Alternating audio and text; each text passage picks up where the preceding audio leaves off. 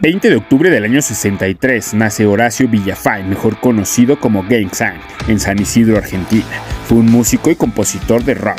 Villafain fue creador de grupos como Todos tus muertos junto a Félix Gutiérrez y también fue cofundador de la banda Dark, La Sobrecarga, y del grupo de rock alternativo Los Siete Delfines. Colaboró también con nuevas bandas como Los Fabulosos Cadillacs, con quienes grabó y estuvo de gira, y El Otro Yo.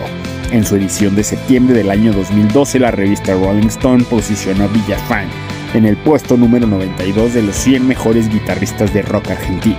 Villafain murió a la edad de 48 años el 23 de noviembre del año 2011 en Argentina.